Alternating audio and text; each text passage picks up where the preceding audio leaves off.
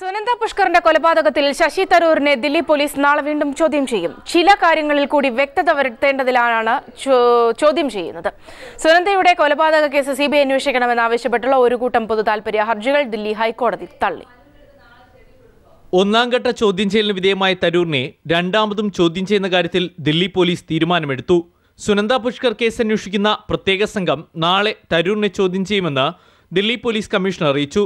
ചില കാര്യങ്ങളിൽ വ്യക്തത വരുത്തേണ്ടതുണ്ടെന്നും കമ്മീഷണർ പറഞ്ഞു देखिए उसको जब बुलाया था इलेक्शन से पहले तो उसने ये कहा था कि मुझे इलेक्शन के बाद में बुलाया जाए तो पहले हमने सोचा था कि हम आठ तारीख को बुलाएंगे तो आठ को हम नहीं बुला पाए तो उसके बाद में दस को क्योंकि हमारे जो अफसर काउंटिंग वगैरह के साथ में बिजी थे तो अब ये फारिग हुए हैं तो एक दो दिन के अंदर में फैसला लेके अ, कल परसों में जो है या एक दो दिन के अंदर में उनको बुलाया जाएगा കൊലപാതകത്തിന് പിന്നിൽ ഐ പി എൽ ക്രിക്കറ്റ് കോഴയുമായി ബന്ധമുണ്ടെന്ന് ചില മൊഴികൾ ദില്ലി പോലീസിന് ലഭിച്ചിട്ടുണ്ട്. കൊല്ലപ്പെടുന്ന ദിവസം സുനന്ദ ഐ പി എല്ലിനെ കുറിച്ച് വെളിപ്പെടുത്തൽ നടത്താൻ വാർത്താ സമ്മേളനം വിളിക്കാൻ ആഗ്രഹിച്ചിരുന്നതിന്റെ തെളിവുകളും ലഭിച്ചു. ഐ പി എല്ലിനെ കുറിച്ചുള്ള വെളിപ്പെടുത്തൽ പുറത്തുവരുന്നത് ഭയപ്പെടുന്നവരാകാം കൊലപാതകത്തിന് പിന്നിലെന്നാണ് പോലീസിന്റെ സംശയം.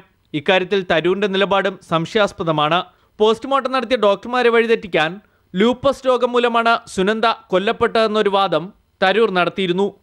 ഇത് എന്തിനാണ് തരൂർ നടത്തിയെന്നാണ് ഇനി അറിയേണ്ടത്. അതേസമയം Sunanda case C B I അന്വേഷിക്കണമെന്നാവശ്യപ്പെട്ട് നൽകിയ പൊതുതാൽപര്യ ഹർജി ഹൈക്കോടതി തള്ളി. കേസിൽ പോലീസ് അന്വേഷണം നടക്കുന്നത് ചൂണ്ടിക്കാട്ടിയാണ് ദില്ലി ഹൈക്കോടതി ഹർജി തള്ളിയത്. News bureau Delhi.